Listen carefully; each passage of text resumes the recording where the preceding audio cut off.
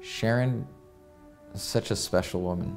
I mean, full of life, full of vivacity, whip smart, so successful, built a career and a life for herself and for her family from nothing.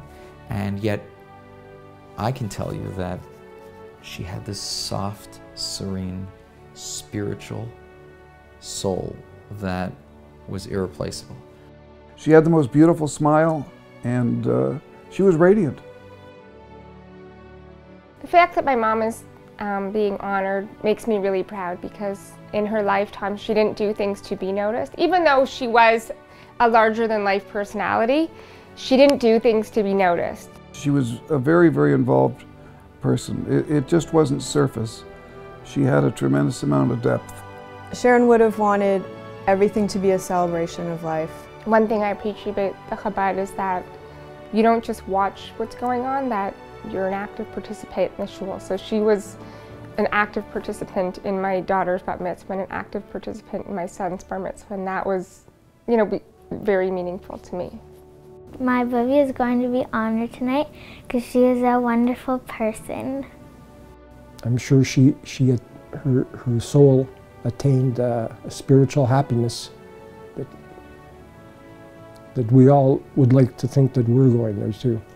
She really liked helping people. That was like her top priority. There really is a void in people's lives now with Sharon Bobkin not around.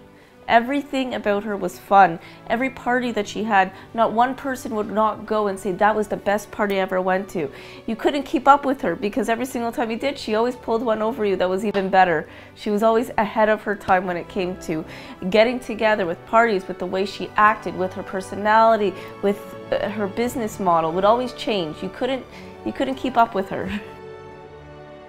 She was the light of the party. She was the center of attention. She was the type of person when she walked in the room, people would notice her and she would, she would, in a way, she would draw the energy of the room towards her. Not that she tried to or she intended to. For some reason, that's just what happened and I, I have to admit it, that's true.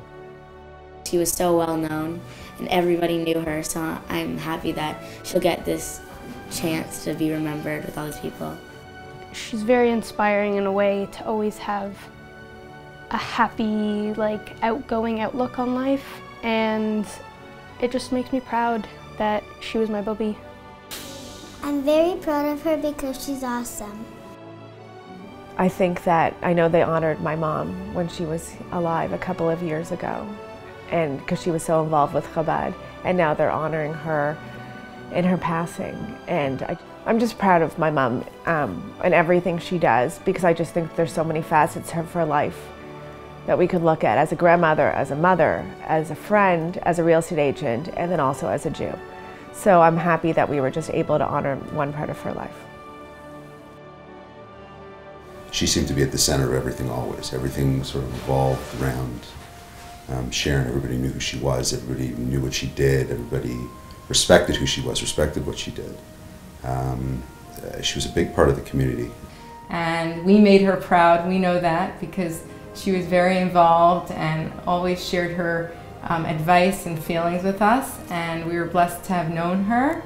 And we thank her family for joining with us and remembering her legacy, her living legacy. The fact that, that Chabad is honoring my wife is, is uh, it's a mitzvah. It's a blessing. And it's well deserved.